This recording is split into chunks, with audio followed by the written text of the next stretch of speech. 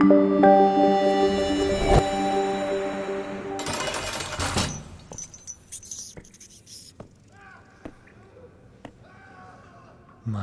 dear Sabina, it was strictly forbidden to preach to other prisoners. It was understood that whoever was caught doing this received a severe beating. A number of us decided to pay the price for the privilege of preaching, so we accepted the communist terms. It was a deal. We preached, and they beat us. We were happy preaching, they were happy beating us. So everyone was happy. Wurmbrand was born in 1909 in Romania. He grew up and was taught under a Marxist and atheistic system. And he grew to hate even the idea of God, considering the idea harmful to people in society.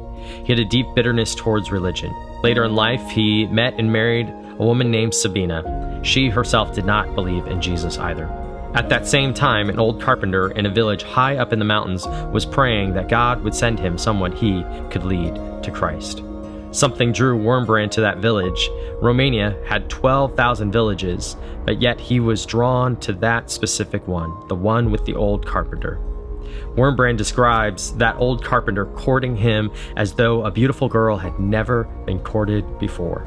Both Richard and his wife Sabina became followers of Jesus. He became a pastor and started a church in Romania. For him, he said to preach the gospel was heaven on earth. It was what he was meant to do, and he loved to do it. He got disciple making, and for him, he knew his life's work was to lead people to Jesus. He said, Every soul won for Christ must be made to be a soul winner. The problem was, it got him into trouble. Under the reign of the Nazis, he was arrested and beaten, but eventually released. As the communists came to power, they brought together all the Christian churches and their representatives. There were 4,000 pastors, priests, and bishops all gathered together in the parliament of Romania. These men were representatives of the church, and they chose Joseph Stalin as the honorary president of that Congress. At the same time, Stalin was the president of the World Movement of the Godless and a mass murderer of Christians. One after another, bishops and pastors arose and declared that communism and Christianity are fundamentally the same and could coexist. One minister after another said words of praise towards communism and assured the new government of the loyalty of the church. Richard and his wife Sabina were present at this Congress, and Sabina told him, Richard, stand up and wash away this shame from the face of Christ. They are spitting in his face. If I do so, you will lose your husband. I don't wish to have a coward as a husband. Then Richard arose and spoke to the Congress, praising not the murderers of Christians but Jesus Christ, stating that their loyalty is due to him first. These speeches at this Congress were broadcast around the whole country, and everyone could hear him proclaim Jesus Christ from the Communist Parliament. Eventually, Wurmbrand was kidnapped by secret police and arrested, and he spent 14 years in prison. Along with thousands of other Christians, he was tortured in so many ways that was incredibly hard for him to even think back on them. I was led to a prison which is 30 feet beneath the earth. And for years I was kept there in solitary confinement. For years we were kept, everyone alone in a cell. Never have we seen sun, moon, stars. Never have we seen a man except the interrogators who beat and tortured Never have we had a book, never a bit of paper. When after many years I had to write again, I did not remember how to write a capital D. And now, in this absolute solitude, we could experience if Christianity is true or not. Another pastor with Wurmbrand was tortured with red hot pokers and knives. He was beaten very badly, and then starving rats were driven into his cell through a large pipe. He was forced to stand for two weeks, day and night. The communists wished to compel him to betray his fellow Christians, but he resisted. Eventually, they brought his 14 year old son to the prison, and they began to whip him in front of his father, saying that they would continue to beat him until the pastor said what they wished him to say. The pastor lasted as long as he could, and then he cried to his son, Please! Stop, Alexander. I must say what they want. I can't bear your beating anymore.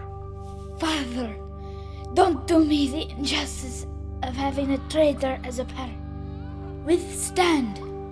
If they kill me, I will die with the words, Jesus and my fatherland. This is the kind of faith that Christian heroes in the past have left as an example for us. They never surrendered their faith, and in their suffering, God did something beautiful. For Wurmbrand, during this time in prison under the communists, they broke four vertebrae in his back and many other bones. They carved him in over a dozen places, and they burned and they cut 18 holes into his body. Wurmbrand said that somehow God gave him the strength to remain faithful, all the while being able to preach the gospel, even winning over many of the communists who were responsible for his torture. Wurmbrand talks about the peace that would come over Christians during their suffering, and how they would often sing and even at times dance for joy because of God's supernatural provision for them. This is a heavenly perspective that should shift everything for us. It changed everything for them. Only love can change the communist and the terrorist. A flower, if you bruise it under your feet, rewards you by giving you its perfume. Likewise, Christians tortured by the communists rewarded their torturers by love. We brought many of our jailers to Christ, and we are dominated by one desire to give the communists who have made us suffer the best we have the salvation that comes from our Lord Jesus Christ. This is the peace that Jesus was talking about. This is the love that he demonstrated for us, that despite us rebelling against him, despite those who put him to death, Jesus doesn't take revenge. Rather, he offers forgiveness and new life, true freedom. How do we treat those who have hurt us today? We are called to run the race that God has set before us, and to do that well, we need to strengthen our faith. What does that mean? It means that we need to build spiritual muscle now that will sustain us should persecution and suffering come. The enemy is the father of lies and lives based on lies. Only the truth and the truth of God's word brings forth true freedom. We must strengthen ourselves in our faith, and here are a couple of ideas of how to do that. Start by devouring your Bible. God has given it to you so that you may know Him, and in it lies everything we need for life and godliness. Richard Wurmbrand tells a story of villagers who saved up to buy an old Bible. And when he gave them a brand new Bible, they were overjoyed with it because they had spent the winter working to save up for it. They took that Bible back to their village and they cut it into 30 different pieces so that every home in that village could have just a tiny bit of God's Word. Do we value it like they did? Parents, we need to recognize that all education comes from a worldview. Nothing is neutral. Wurmbrand described how in his day the underground church put leaflets saying, Let us join together our efforts and prayers to dedicate to God the lives of our children from the time they are in the cradle. Let us save our children from the influence of the world. What do you need to do today to lead your children to truth? Wurmbrand said, Persecution has always produced a better Christian, and I think that preparing for it will do the same. There are many other ways we can strengthen our faith, but what about preparing ourselves and others? Prepare your family that what we have known historically here in the States may not be what our children and grandchildren will get to know. Around the world, Christians have historically prepared their families to undergo persecution.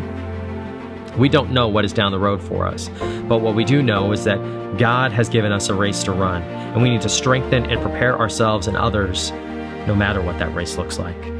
And we must remember those who are suffering even in this very day for Christ. Let us be people who stand for truth. Let us be people who speak boldly for the truth of the gospel because it is the only way that people can be saved. There is only one name under heaven given by which men shall be saved, and that name is Jesus Christ. Let us love well. Let us point people to Jesus. Let us always be about the joy of the gospel because sharing the gospel really is, like Wurmbrand said, heaven on earth. Let us be a people who declare that our hope is in God and what comes in all that we do. Christ be magnified in our lives. He is what we want people to see when they look at us. He is our hope in our life.